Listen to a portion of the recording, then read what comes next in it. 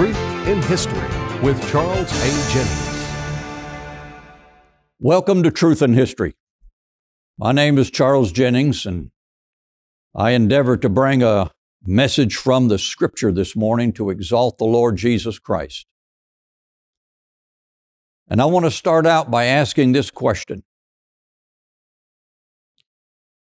In the light of modern theology,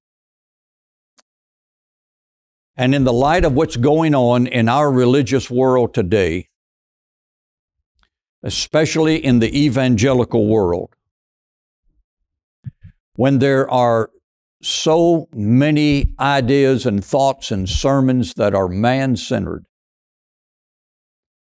what I call anthropocentric sermons, centered on man. I want to ask a question.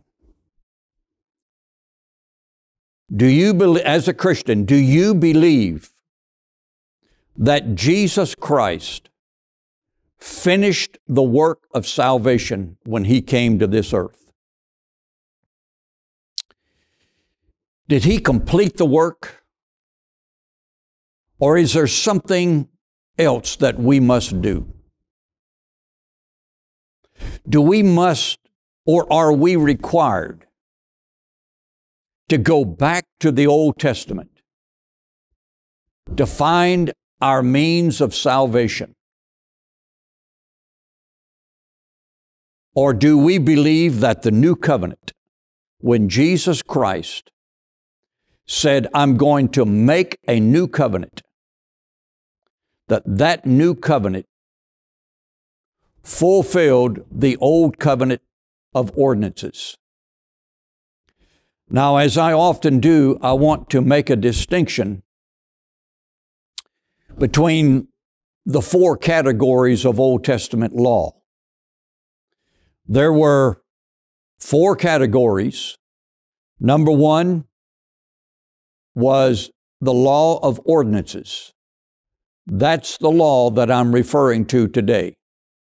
That law has been totally, completely finished and fulfilled. The law of ordinances, blood sacrifice, meal offerings, drink offerings, you know, early in the day offerings, afternoon offerings, uh, priestly dress, special times, when to worship, where to worship, how to worship, all that's been done away with. The second category is the law of commandments, moral commandments. Those are still in effect. And then the law of statutes and judgments, they go together. Those are still in effect. And they are they were given to govern a society, to govern a nation. And our nation and other Israelite nations are violating those laws, and we're going to suffer the consequences. So I wanted to make that distinction for no one would misunderstand me in thinking that I have just thrown out the law completely. No, I have not. It's only the law of ordinances that I'm talking about in this message today. And I want to take a text from Matthew chapter 9 and verse number 14. You know, Jesus Christ in his teachings, he had a lot of questions that people would ask him. John's disciples asked him questions, Pharisees, Sadducees, chief priests, and the masses, his own disciples. And he answered them mainly in parables or analogies of some sort. And in Matthew chapter 9, And we're going to start at verse number 9. 9 9. And as Jesus passed forth from thence, he saw a man named Matthew sitting at the receipt of custom. And he said unto him, Follow me. And he arose and followed him. And it came to pass, as Jesus sat at meat in the house, behold, many publicans and sinners came and sat down with him and his disciples. And when the Pharisees saw it, they said unto his disciples, Why eatest your master with publicans and sinners? But when Jesus heard that, he said unto them, They that be whole need not a physician, but they that are sick. But go ye and learn what that meaneth. I will have mercy and not sacrifice, for I am not come to call the righteous, but sinners to repentance. Then came to him the disciples of John, saying, Why do we and the Pharisees fast oft, but thy disciples fast not? And Jesus said unto them, Can the children of the bride chamber mourn as long as the bride chamber is with them? But the days will come when the bridegroom shall be taken from them, and then shall they fast. If you notice Jesus' answer, there's a time element. He said, Right now, the children of the bride chamber, how can they mourn as long as the bridegroom is with them now? But the days will come. There's a time element, there's a transition period. When the bridegroom shall be taken from them, that's when they shall fast. And then he clarifies things. No man putteth a piece of new cloth unto an old garment. For that which is put in to fill it up taketh from the garment, and the rent is made worse. Neither do men put new wine into old bottles, else the bottles break, and the wine runneth out, and the bottles perish, but they put new wine into new bottles, and both are preserved. What was Jesus referring to? He said, if you take a, a piece of new cloth and you put it in an old garment, that garment that is old cannot contain it. It's going to rip, it's going to tear. It can't hold it. And if you take new wine and put it into old bottles, the old bottles cannot contain it, the old bottles or wineskins will break. And the new wine runs out. In essence, Jesus is talking about the transition from the old covenant of ordinances of Levi or Aaron to the new covenant, from the old covenant to the new covenant. You see, what he is saying here is that we cannot combine the old covenant ordinances dealing with man's atonement and forgiveness of sins and all that with the new covenant. Now, I realize that there are Christians today that they want to bring a lot of people back into the old ordinances, the old rites and ceremonies of Levi and of Aaron. And actually, they are mixing Judaism in there with the Old Testament Hebrewism because those are two different things. and saying, well, for the Jews, whom they believe are God's chosen people, which they are not, their salvation is found in the Old Covenant. Folks, that is an abomination in the sight of God, and it's an affront to the blood and the sacrifice of Jesus Christ. So the old bottles is referring to the old covenant ordinances, and the new wine is referring to a new and better way that Jesus made under the terms of the new covenant.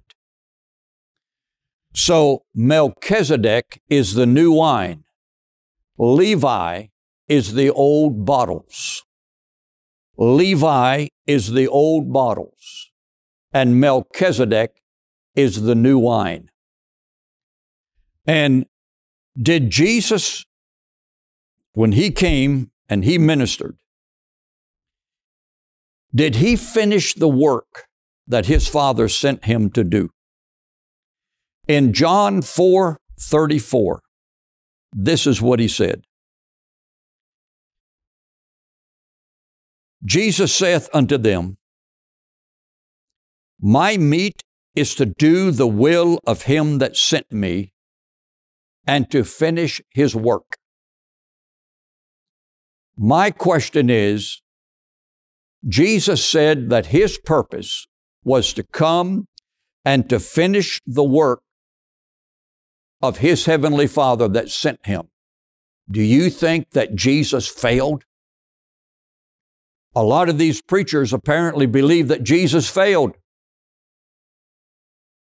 They have to go back and pick up something out of the old covenant. You got to worship on a certain day. I know that's a sensitive subject.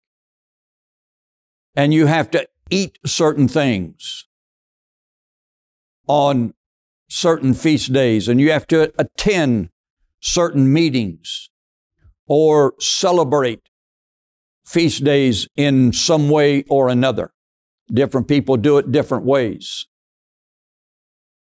But Jesus said, I have finished the work. My purpose or my meat is to finish the work that my Father sent me to do. In John 5:36, we read these words but I have a greater witness than that of John. For the works which the Father hath given me to finish, the same works that I do, bear witness of me that the Father hath sent me. Here's a second witness. The works which the Father hath sent me to finish. That means to complete. That means to bring to fruition. Also in John 17, 4. This is the Lord's high priestly prayer. And he said, I have glorified thee on the earth. I have finished the work which thou gavest me to do. Why do I bring out these verses? It's because modern theology concerning Jesus Christ and his work on the cross by many ministries has gone in the ditch.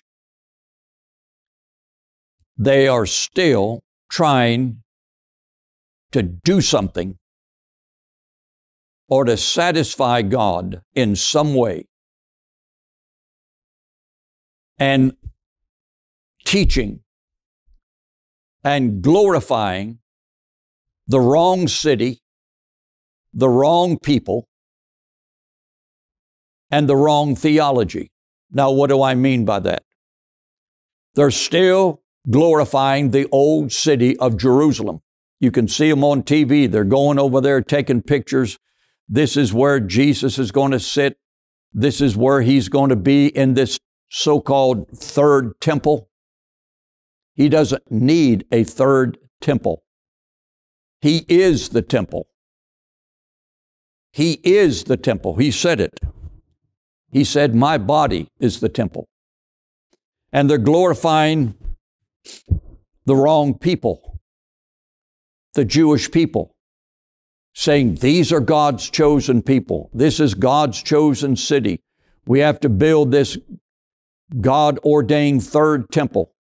None of the above are correct. They're not God's chosen people. The earmarks of true Israel in the Old Testament are given quite plainly, and they don't fit any of them, not even one. So, modern theology is misguided. It's misguided. And some preachers are even saying that Jesus Christ needed to be saved and that he descended into hell, a burning hell for three days and three nights. Or maybe was only there a day and a half, according to their theology. And that's where he paid for his salvation. That's nonsense. That's an abomination. I know their voice is being heard a lot more than mine because they're speaking to millions and, and, and bringing in millions of dollars. But I want to glorify Jesus Christ. I want to have Him as our focal point in every theology or every area of our teaching. And we want to exalt Him and Him alone. Now, in John 19, verse 30, when Jesus was on the cross, Jesus therefore had received the vinegar, he said, It is finished. He completed the work which his Father sent him to do. He did not have to go to hell a burning hell, you know, in the center of the earth somewhere. No. That came out of Plato's belief. That's Platoism that came down through the ancient mysteries and finally came into Pergamus, the city of Pergamus. And then it was transferred over to the bishops of Rome. And they put it into their doctrine of the church, of the Roman Catholic Church, and it came down to the Protestants, and the Protestants believed it. It's Plato. Jesus didn't go preach to anybody in hell. That can be clearly explained. So Jesus said, It is finished. And when he said, If you try to put my work of the new covenant into old bottles of the Old Testament, they will break. They will not work. And he said the new wine will just run out and be spilled, diluted, of no good. So, as we turn to the book of Hebrews, once again, I would like to bring out the difference the contrast between the two priesthoods in the book of Hebrews. And I have listed 14 different things, 14 different contrasts between the order of Melchizedek and the order of Levi. And I'm going to try to be concise and clear in these 14 things as I try to go through them. And they are contained in this book that I have put together concerning the ministry of Melchizedek. This book for an offering of $8. It's well worth it, folks. It will throw light on a lot of wonderful things in the scriptures. And we will also send you a free copy of our magazine. And if you just want the magazine, we'll send that to you free of charge. But we, we're asking an offering of $8 for the book. Basically, that just covers the printing of the book and the postage. We'll pay the postage. So we're not making any big profits on books. That's not our purpose. But I want to bring out the contrast in the book of Hebrews, chapter number seven, the contrast between the Melchizedek order, that's the new wine of the new covenant, and the order of Levi, the old priesthood of the Old Testament, and he would be old bottles. So, number one, Melchizedek received tithes. That's found in, this is all in chapter number seven. Verse number two, by whom also Abraham gave a tenth part of all. Abraham paid tithes to Melchizedek who was Shem at the time. And that is found in Genesis chapter 14. Also in verse number four, it says, Now consider how great this man was, unto whom even the patriarch Abraham gave the tenth of the spoils. Verse 6 But he whose descent is not counted from them received tithes of Abraham and blessed him that had the promises.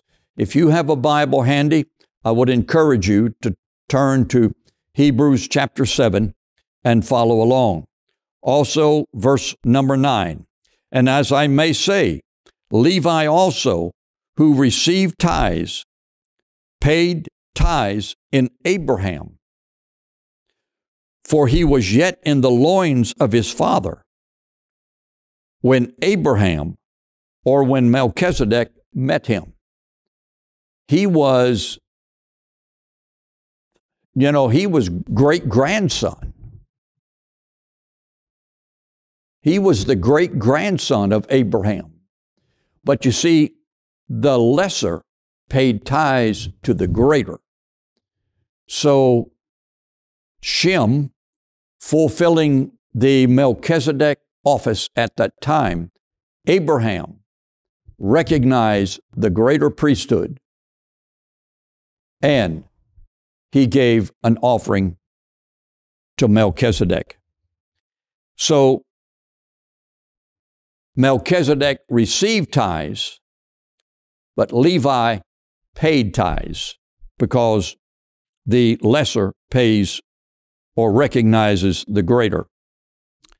Number two, Melchizedek was not by genealogical descent. It says, verse 3 without father, without mother, without descent, having neither beginning of days nor end of life, but made like unto the Son of God, abideth the priest continually. So he had no genealogical father to follow, like Aaron's sons followed Aaron. He had no genealogical order because this Melchizedek order was given or was conferred by oath, not by father, son, grandson, etc. Verse number six But he whose descent is not counted from them. You see, not counted from Levi, because it's talking about Levi in verse 5. Verse 15 it tells us this And it is yet far more evident for that after the similitude of Melchizedek there ariseth another priest. After the similitude, after the being similar in office and being uh, having received that oath and receiving that office. You see, it's like the President of the United States. Just because one man is president doesn't mean his son will be president. No, it's conferred upon him. And verse number 16 who was made not after the law of a carnal commandment, but after the power of an endless life. Melchizedek was not, that office is not by descent, but Levi was by descent. Number three, in verse 14, for it is evident that our Lord sprang out of Judah, of which tribe Moses spake nothing concerning priesthood. Melchizedek, Jesus Christ, who was fulfilled that office, came out of Judah, a non priestly tribe, whereas Levi was from our Aaron and the priests they were from that Levitical order. Number four, I know I'm repeating myself, but I'm trying to move on. In chapter 7, verse 17, it tells us, For he testifieth, Thou art a priest forever after the order of Melchizedek. That is taken from Psalm 110 and verse 4. Verse number 20. And inasmuch as not without an oath he was made priest, he could not be made a priest without an oath. And that office conferred upon Jesus Christ. For who for those priests were made without an oath. So Levi, or the priest, I should say, Aaron and his sons, they didn't need an oath because their father was already a priest. Number five, Melchizedek, that is Jesus Christ, has endless life. Endless life. Verse 8 And here men that re- die receive tithes, but there he receiveth them of whom it is witnessed that he liveth. Verse 16 Who is made not after the law of a carnal commandment, but after the power of an endless life. Verse 25 Wherefore he is able also to save them to the uttermost that come unto God by him, seeing he ever liveth to make intercession for them. That's Melchizedek. That's Jesus. But what does it say concerning Levi, concerning the Levitical priesthood. Those men died. Verse 8 and verse 23. And they truly were many priests because they were not suffered to continue by reason of death. Number six, Melchizedek blesses, he serves bread and wine. We read these verses already, but Melchizedek, Genesis 14, served bread and wine. What did Jesus do at the Last Supper? Matthew chapter 26. He served his disciples bread. He broke it and he gave it to them. said, Eat, this is my body. He gave them the cup, said, Drink, this is the new covenant in my blood.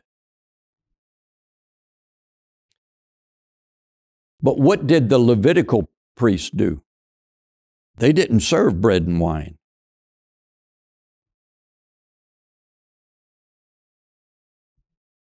They administered the law.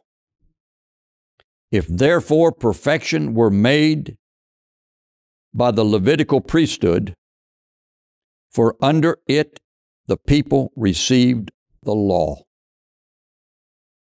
But Jesus came along and said, instead of administering law,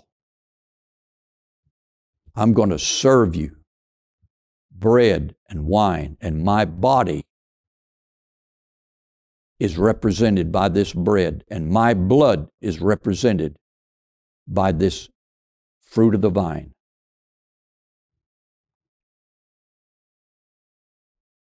Number seven, verse 24. But this man, because he hath continues forever, has an unchangeable priesthood. One priest. Jesus Christ is the only priest now. Just Jesus Christ, fulfilling the office of Melchizedek. But we see in verse 21 for those priests were made without an oath, but this with an oath by him that said, The Lord swear and will not repent. Thou art a priest forever after the order of Melchizedek. And verse 23 And they truly were many priests, many priests. Thousands of men served as priests in the Old Testament. Number eight, I've covered this already. The office of priesthood is forever. The office of Melchizedek priesthood is forever. But Levi, that order was temporary. It was temporary, strictly for that age. It had a beginning in 1453 BC and it ended at Calvary, approximately 31 AD. It came to an end. It was designed that way from the beginning. Number nine, an unchangeable priesthood.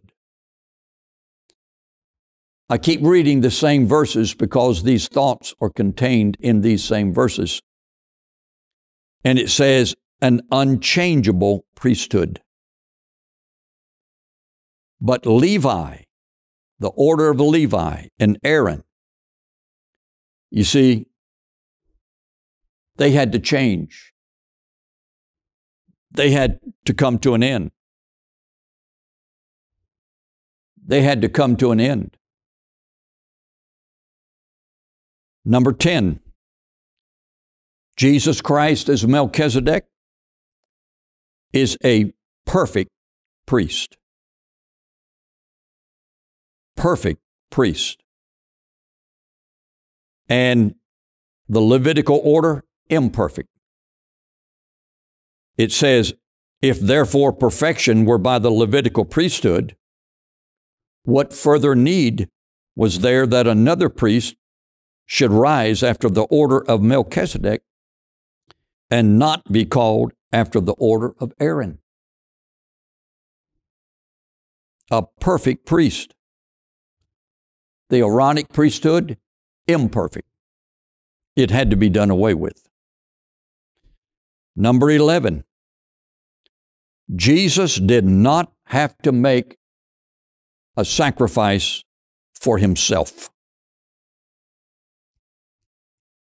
In verse 27, who needeth not daily as those high priests to offer up sacrifice for first for his own sins and then for the people's. For this he did once when he offered up himself. He didn't have to make a preliminary offering to cover his own sin and then make another offering to cover the sins of the people. I'm trying to exalt Jesus Christ today and his priesthood. And in the Old Testament, Aaron, as he went into the most holy place, he had to make an offering for his own sin first and for his family members, and then another offering for the people. Jesus didn't have to do that. He made one sacrifice. One sacrifice. Number 12. I already read this verse. For this he did once when he offered up himself. And then in chapter 9, in verse number 12, neither by the blood of goats or calves, but by his own blood he entered in once into the holy place. Not the holy place in Jerusalem in that physical temple, but the holy place in the heavens. He said in verse number 12, chapter 9, Neither by the blood of goats and calves, but by his own blood he entered in once into the holy place, having a, a, obtained eternal redemption for us. Old Testament priests, daily sacrifice, morning sacrifice, afternoon sacrifice, blood sacrifice, uh, oil sacrifice, meal sacrifice, you know, burnt offering, sin offering, etc., on and on and on. Jesus Christ made one sacrifice. Number 13, he offered himself. We, read the verse already. Chapter 7, verse 27, he offered himself. The Old Testament they had, had to offer animals, animal blood, insufficient.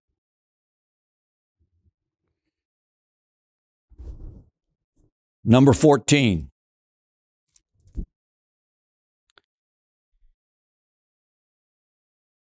In chapter 7, in verse 26, Jesus Christ was already consecrated forever, the sinless Son of God. Whereas Aaron had infirmities, he had weaknesses, he had sins, born into a nature that has a propensity to rebel against God, just like us, but yet he was made a priest of that order in the Old Testament. So he had to make sacrifice for himself, but Jesus was perfect. Hebrews 7:27 For such an high priest became us who is holy, harmless, undefiled, separate from sinners, and made higher than the heavens. Can't get any better than that. And everything he did was better. Better hope, better sacrifice, better substance, better country, better resurrection, better thing, all in the book of Hebrews. Now, as we turn back to the book of Zechariah, we see this beautiful thought.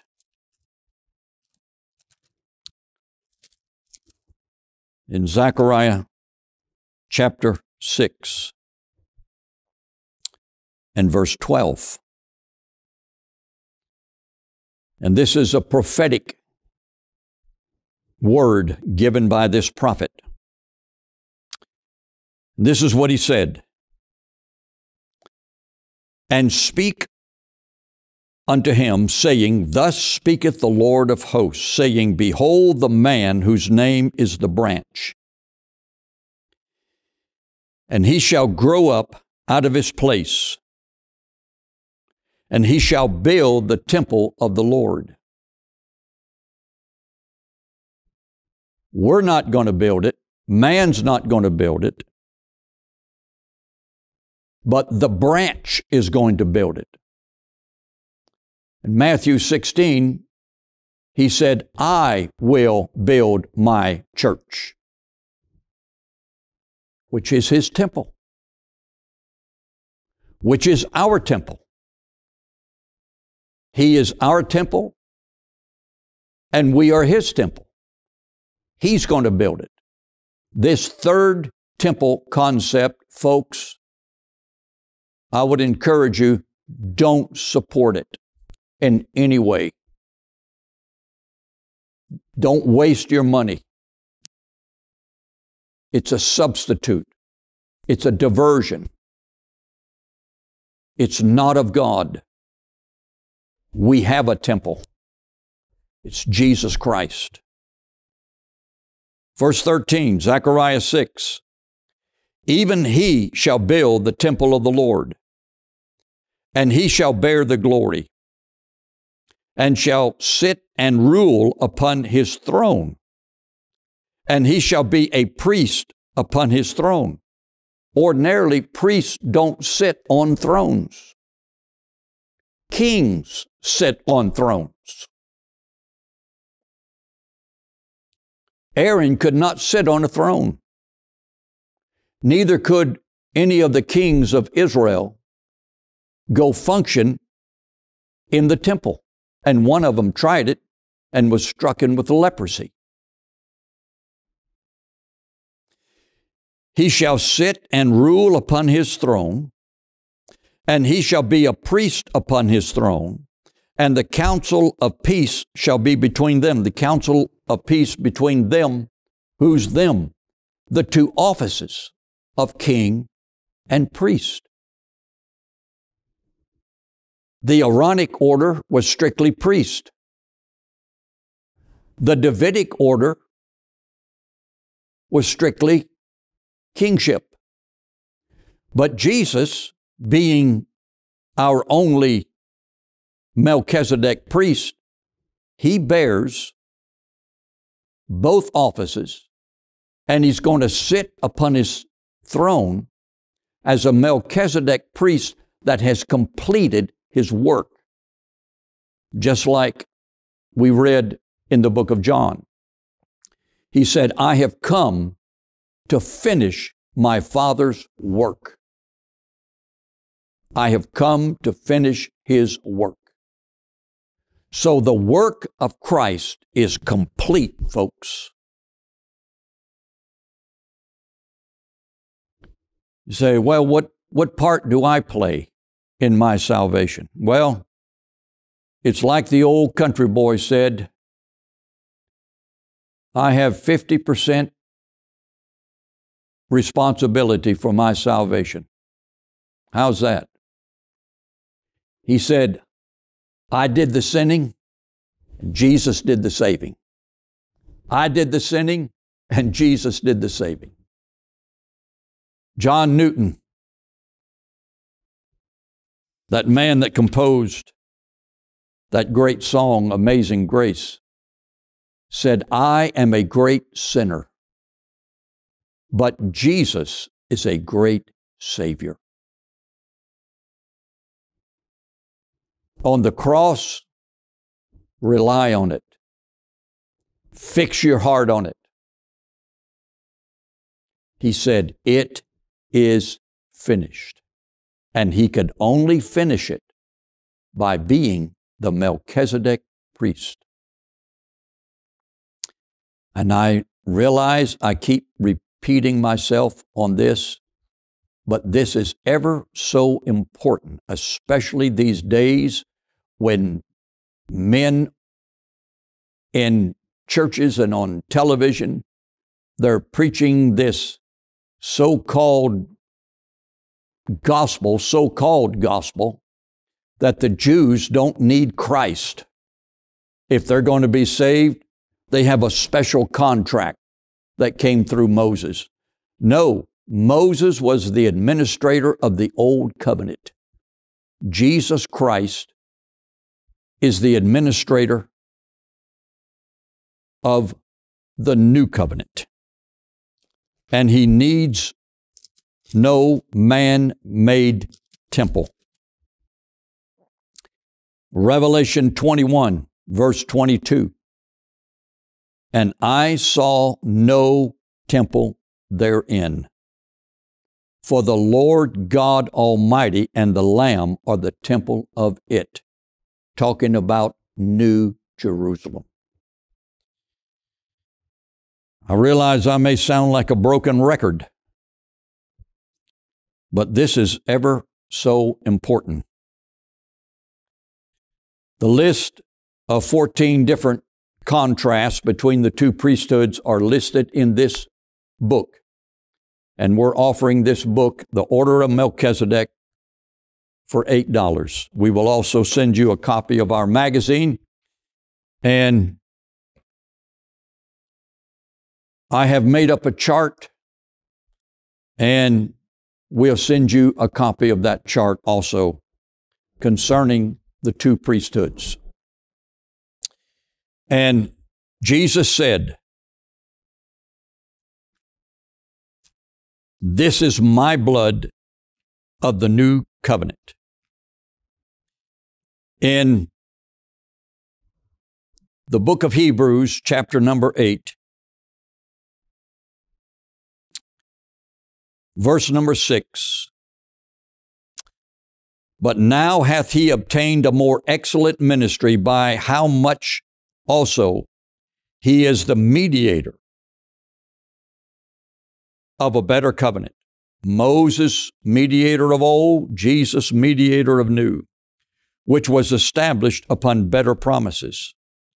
For if that which, for if that first covenant had been faultless, then should no place have been sought for the second. For finding fault with them, he said, Behold, the days come, saith the Lord, when I will make a new covenant with the house of Israel and the house of Judah. Who did he make the new covenant with? The house of Israel and the house of Judah. And that does not include the Jewish people because they're not of Judah and they're not of Israel. And it's been shown, and I've taught it many times, that the true identification of the house of Israel and the house of Judah Yes. You ready for the shock? Or the Anglo Saxon, Scandinavian, Germanic, and related people. How else can it be? You only have three choices the Jews are Israel, the church is Israel, or the Anglo Saxon and related people are Israel. Where has Christianity been Where's the trail or the route or the road of the gospel all the way from Palestine to the New World, North America, How did it get here? Did it go west? Or did it go east? It came west. And there's a lot to say on that subject. But, folks, the Lord bless you. May this be an encouragement, an enlightenment, and an exaltation of Jesus Christ because He is the only one. We should worship Him and Him alone, exalt Him and Him alone, not ceremonies, not certain dress, or be under a guilt complex because you don't meet at a certain time. He fulfilled the law of ordinances. And He's coming back. Jesus is coming back as a king priest to sit upon his throne and to rule over the house of Jacob forever. God bless you.